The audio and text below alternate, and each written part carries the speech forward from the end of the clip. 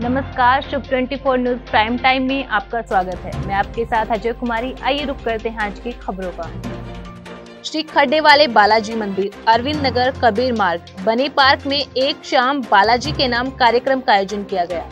कार्यक्रम में स्वामी श्री बाल मुकुंदाचार्य जी महाराज हाथोस धाम के सानिध्य में संपन्न हुआ। कार्यक्रम के संयोजक ने बताया कि सुबह दस बजकर पंद्रह मिनट पर भव्य कलश यात्रा निकाली गई। शाम छह बजकर पंद्रह मिनट पर सामूहिक सुंदरकांड पाठ और सामूहिक हनुमान चालीसा पाठ का आयोजन किया जाएगा, जिसमें हज़ारों की संख्या में भक्तों ने भाग लिया।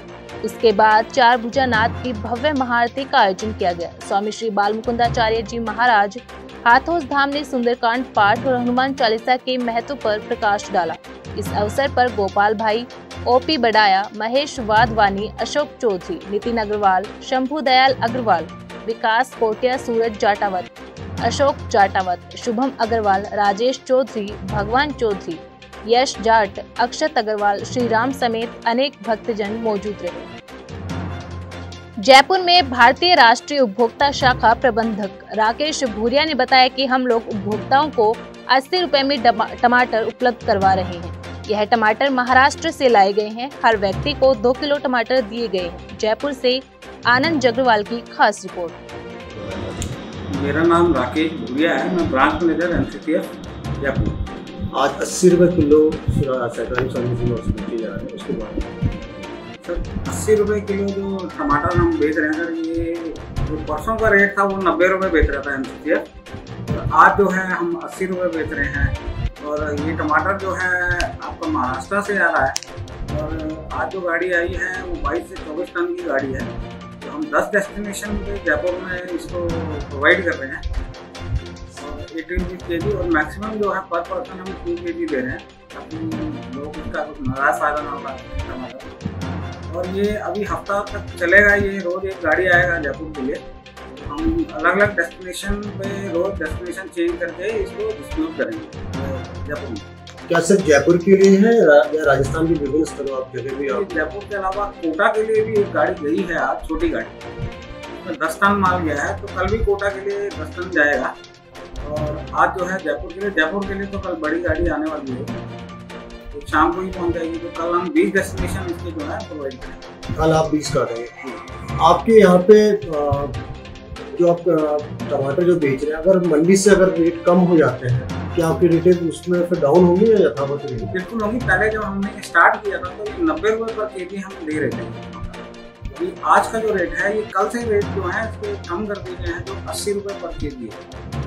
अगर ये मार्केट में और रेट कम होते हैं तो पब्लिक को और बेनिफिट देने के लिए हम इससे दस रुपये और भी कम कर सकते हैं। जैसे जैसे हमें, हमारी मिनिस्ट्री से जो जो गाइडलाइन आती रहेंगी, वो हम फॉलो करके उसके रेट डाउन करेंगे जैसे कि आज बात इनकी मंडी में है तो आज टमाटर एक सौ दस रुपये किलो है और आपकी तरफ़ से अस्सी रुपये दिए जा रहे हैं।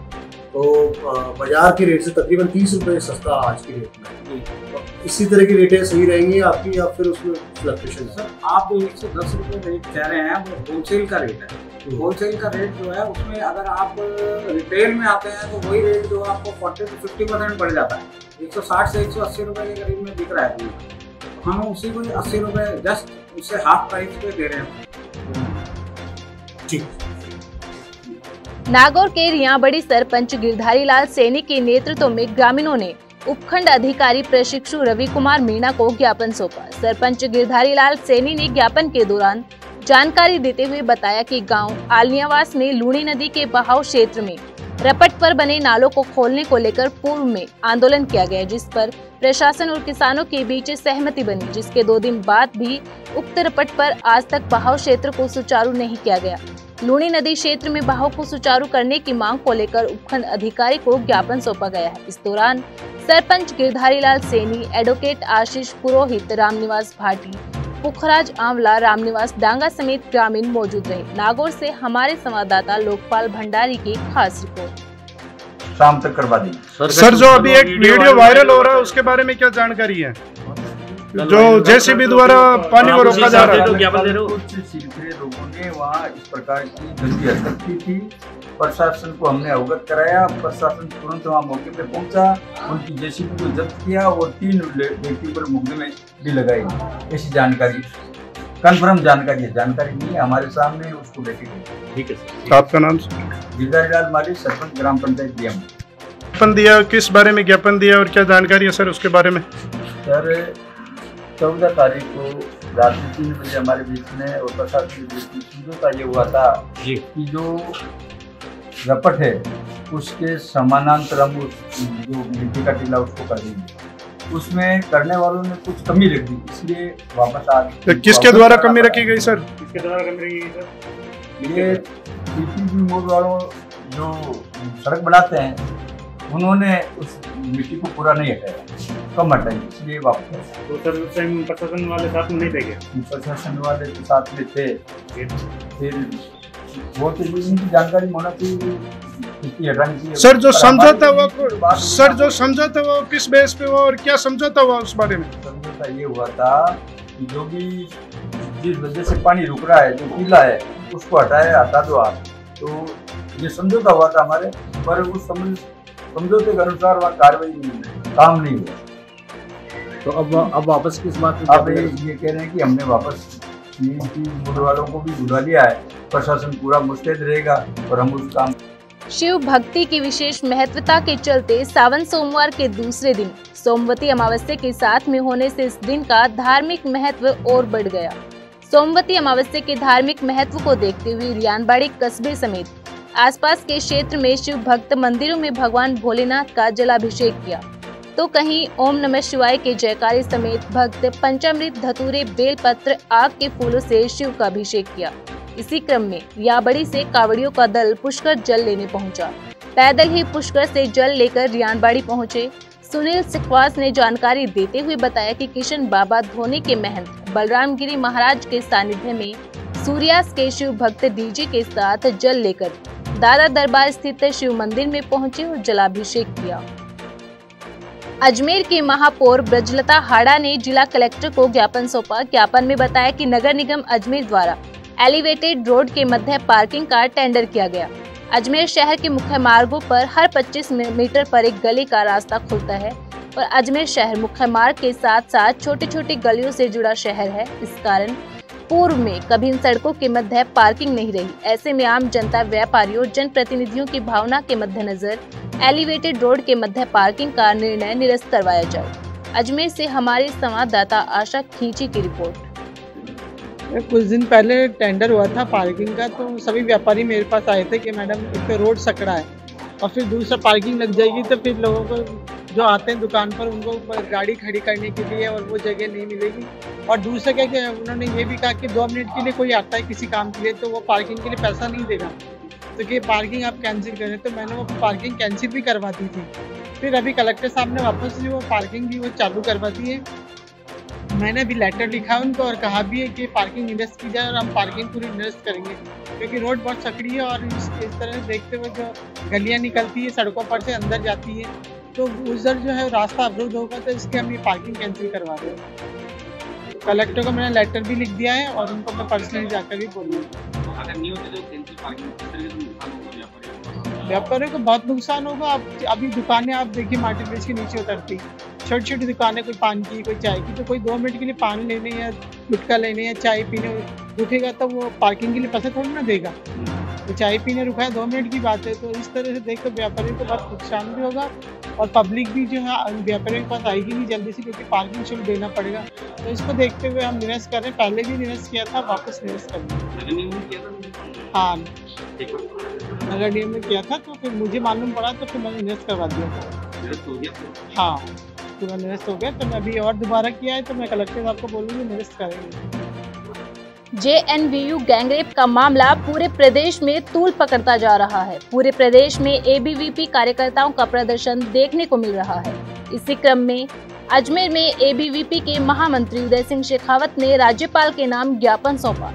ज्ञापन में बताया कि जेएनवीयू जोधपुर के पुराना परिसर में हॉकी ग्राउंड में नाबालिग के साथ हुई गैंगरेप की घटना की अखिल भारतीय विद्यार्थी परिषद निंदा करता है और आरोपियों को फांसी की सजा दिलाने की मांग करता है।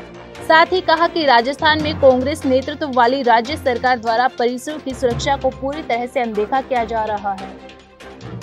आज अखिल भारतीय विद्यार्थी परिषद ने अजमेर कलेक्ट्रेट पर अजमेर कलेक्टर साहब को ज्ञापन दिया है, जिसके अंदर हमारी प्रमुख मांग रही है कि अखिल भारतीय विद्यार्थी परिषद विश्व का सबसे बड़ा छात्र संगठन है।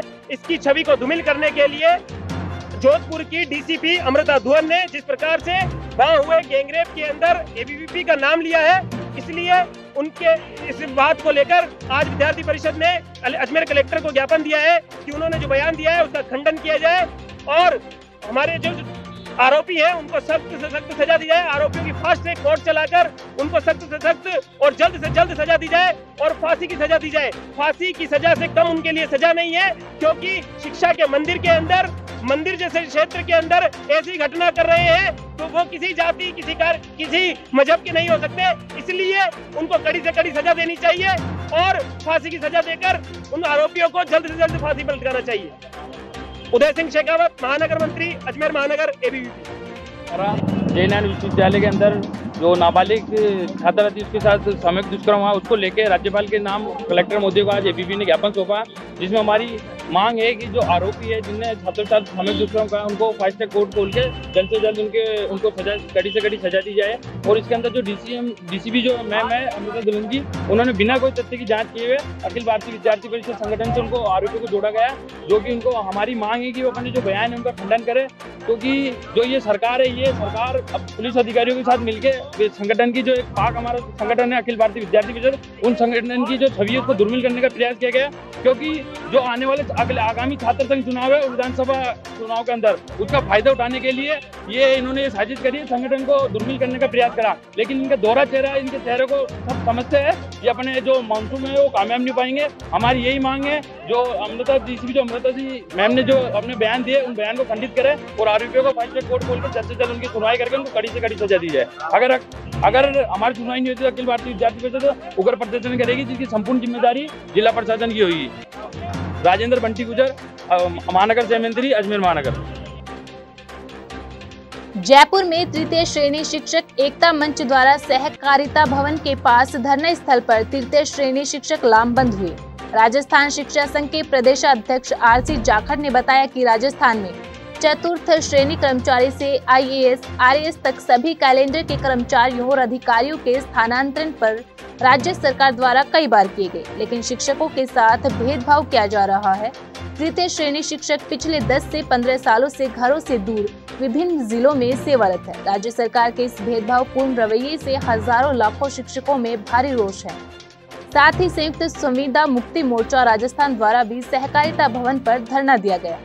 अध्यक्ष नरेंद्र चौधरी ने बताया कि सरकार ने चुनावी घोषणा पत्र के अनुसार संविदा कर्मियों को स्थानांतरण करने का वादा किया था, जो आज तक पूरा नहीं कर पाई। आईएएस पैटर्न में संशोधन करते हुए पूर्ण सेवा को एक वर्ष मानते हुए स्कैनिंग स्थायी किया जाए, जिस विभाग में अभी तक संविदा सेवा नियमों में प्रतिक्रिया पूरी नहीं हुई है, अतः सरकार से हम चाहते हैं कि हमारी मांगे पूरी करे, नहीं तो हम धरना स्थल पर डटे रहेंगे जब तक कि हमारी मांगे पूरी नहीं हो जाती। राजस्थान सरकार ने सत्ता में आने से पहले राजस्थान के तमाम संविदा से अपने मैनिफेस्टो में वादा किया था, परंतु राजस्थान सरकार उसके उपरांत भी हमारा जो मुद्दा है, हमारा जो वादा है, वो अधूरा है और राजस्थान सरकार ने तमाम संविदा कर्मियों के लिए राजस्थान के संविदा सेवा नियम बनाए और तमाम संविदा कर्मियों को संविदा सेवा कर दिया। और राजस्थान सरकार समझती है कि हमने संविदा कर्मियों का स्थायीकरण कर दिया। लेकिन मैं बता देना चाहता हूँ कि केवल संविदा से संविदा में लाना और संविदा से संविदा सेवा में लाना नहीं है। राजस्थान सरकार जो ये कह रही है कि हमने स्थायीकरण कर दिया। तो कि राजस्थान और इसी बात को लेकर पूरे प्रदेश के तमाम संविदा कर्मियों में राजस्थान सरकार के रोष है आक्रोश है और इसी रोष और आक्रोश को लेकर आज तमाम संविदा कर्मी संयुक्त संविदा पहुँचे और राजस्थान सरकार पर अपने विभाग और अपना चुनावी नरेंद्र चौधरी प्रदेश अध्यक्ष संयुक्त संविदा मुक्ति मोर्चा राजस्थान। अजमेर बीजेपी ने नहीं सहेगा राजस्थान अभियान और विभिन्न मुद्दों को लेकर। पूर्व प्रदेश अध्यक्ष अरुण चतुर्वेदी ने प्रेस वार्ता की, जिसमें अरुण चतुर्वेदी ने कहा, राजस्थान दुष्कर्म के मामले में अव्वल नंबर पर है, जिसको लेकर भाजपा महिला मोर्चा ने कुछ दिन पूर्व सचिवालय पर प्रदर्शन किया, साथ ही झुंझुनू में किसानों का प्रदर्शन किया गया। पेपर लीक मामले में कल आरपीएससी के दोनों केंद्रों पर बड़ा प्रदर्शन किया जाएगा, इसके साथ ही कहा कि भारतीय जनता पार्टी हर वार्ड में एफआईआर कैंप लगाएगी और पीड़ित व्यक्ति अपनी एफआईआर दर्ज करवा सकता है। और इन सबके संकलन को लेकर हम सरकार को जगाने का प्रयास करेंगे। और साथ साथ ही कहा कि भाजपा जनता से सुझाव भी लेगी कि भाजपा सरकार में आए तो किस प्रकार के कार्य करने चाहिए। और पंद्रह दिन के नहीं सही का राजस्थान अभियान के तहत मशाल जुलूस प्रभात फेरियाँ निकाली जाएँगी। इस दौरान सरकार का फेर कार्ड घर घर तक पहुँचाने का काम भी करेंगे। अजमेर से हमारे संवाददाता आशा खींची की रिपोर्ट। होगा? किसानों का होगा? युवाओं का होगा? हम जानते हैं कि महिला दुष्कर्म के मामले में ज़बरदस्त राजस्थान पहले नंबर पर खड़ा हुआ है। इसको लेकर के भारतीय जनता पार्टी ने महिलाओं का एक बड़ा प्रदर्शन सचिवालय के ऊपर किया। अभी चार दिन पहले किसानों का एक बड़ा प्रदर्शन जमुई में किया और आरपीएससी और बोर्ड ऑफ़ एजुकेशन जो पेपर लीक के मामले में राजस्थान में दोनों केंद्र हैं, ऐसे इन दोनों केंद्रों को लेकर के कल एक बड़ा प्रदर्शन युवाओं का आरपीएससी के ऊपर होगा। पहले सभा बोर्ड ऑफ़ एजुकेशन के बाहर होगी और वहाँ से सभा समाप्त होने के बाद रैली चालू होगी, जो आरपीएससी के बड़े प्रदर्शन के रूप में कल्मिनेट होगी कि सरकार गूँगी बेरी है, पूरी तरह समाप्त हो चुकी है। पेपर लीक में हम जानते हैं कि इसमें राजीव गांधी स्टडी सर्किल के राजस्थान के अध्यक्ष, वो थे उनकी पूरी टीम इन्वॉल्व थी। अभी तक पूछताछ प्रोफेसर जारौली जो बोर्ड ऑफ़ के चेयरमैन थे, उनसे किसी प्रकार की पूछताछ नहीं लगातार ऐसा लगता है कि सरकार के इशारे पर एक एक करके पेश लिख रहे हैं। चाहे बाबूलाल कटारा का विषय होगा या गोपाल केशावत का होगा, जिनके सरकार से सीधे सीधे तार जुड़े हैं, वो इन मामलों में एक एक करके निकलते आ रहे हैं। चाहे किसी को बिजली के बिल का संकट होगा या पेंशन नहीं मिलने का मामला होगा, या फिर विकास का विषय होगा महिलाओं को अत्याचार के होंगे। एक तरफ़ मुख्यमंत्री जी कहते हैं कि सबकी एफ़ होती है। और दूसरी तरफ़ जब सांसद धरने पर बैठते हैं, उसके बाद भी एफआईआर नहीं होती। ऐसे सब विषयों को लेकर के भारतीय जनता पार्टी हर वार्ड में एफआईआर के कैंप लगाएगी और पीड़ित व्यक्ति अपने एफआईआर को दर्ज कर सकते हैं। उन सब के संकलन को लेकर के हम सारे सरकार को जगाने का काम, उसको जोड़ने का काम इस सबके माध्यम से करेंगे। धीरे धीरे करते हुए बाद में आम आदमी के सुझाव भी हम घोषणा पत्र के नाते से किन किन विषयों को लेकर के जाएँ या सरकार में आएँगे तो किन विषयों प्राथमिकता में होने चाहिए, ये सारे सुझाव भी भारतीय जनता पार्टी, आम लोगों खबर राजस्थान के गंगानगर के पदमपुर से है। पदमपुर के गाँव 43 आरबी में देवर ने भाभी के सिर में पावड़ा मारकर हत्या कर दी। हत्या के बाद आरोपी खुद पुलिस थाने पहुँचा। पुलिस ने मौके पर एफएसएल की टीम को सूचना दी। वहीं प्रशिक्षु आरपीएस सोनू चौधरी भी मौके पर पहुँचे।